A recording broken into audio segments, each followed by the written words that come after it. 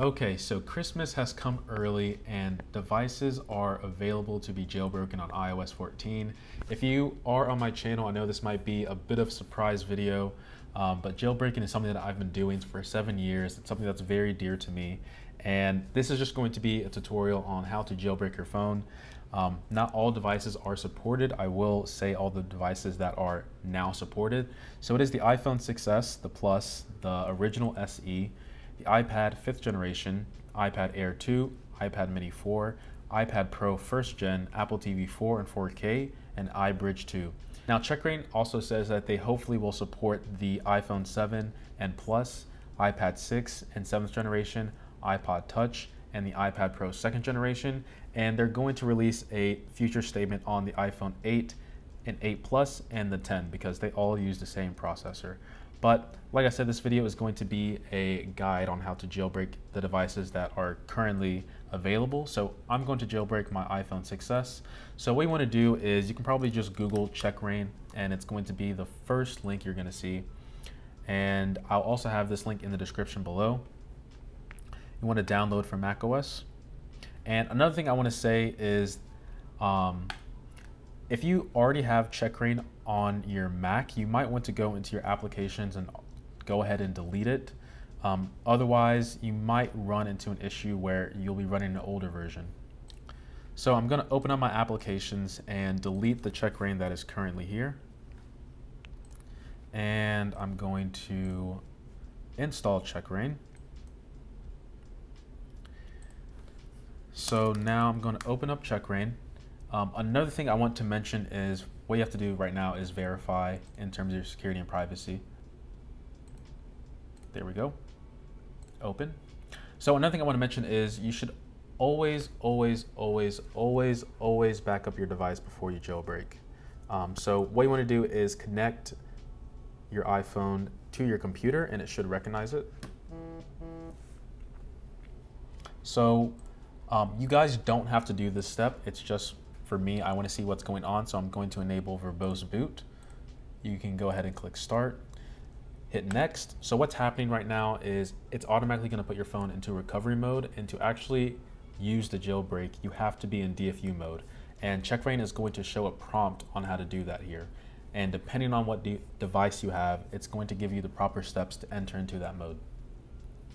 So we're just gonna wait for it to get into recovery mode and it should show a Mac with iTunes on your iPhone. Or it's, now it's just showing a Mac with the lightning cable. So now it's telling me the steps to enter in DFU mode. So I'm gonna go ahead and do that.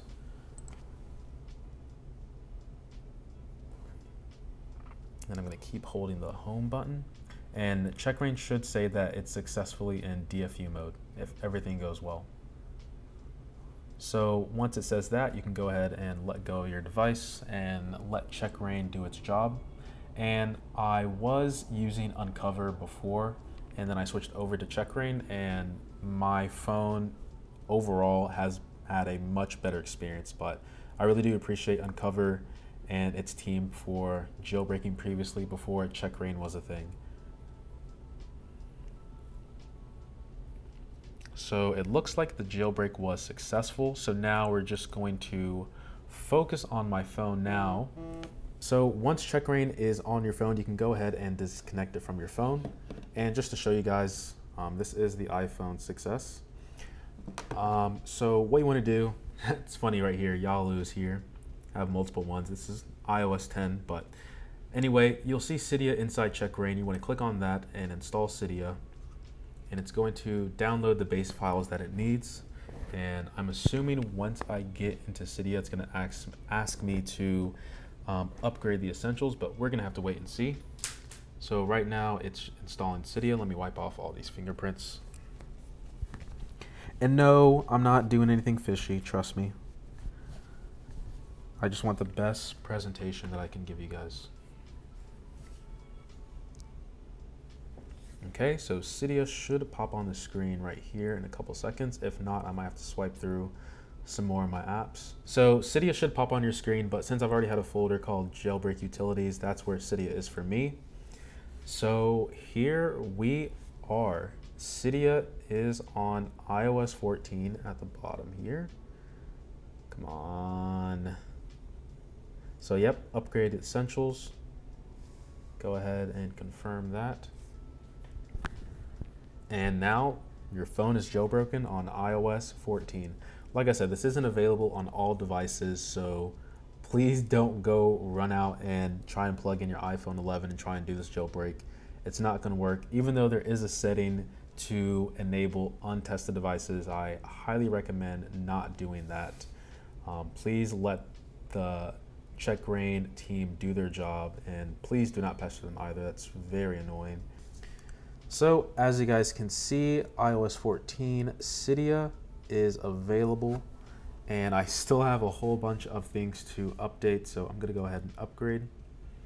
Look at all this.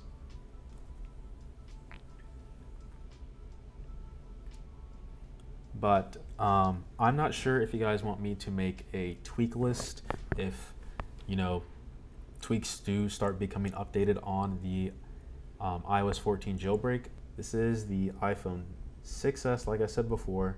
I'm rambling on at this point, but oh my gosh, I just can't believe this is here. And like I said before, man, Yalu, it's not going to open, but I really do miss this jailbreak. I really do.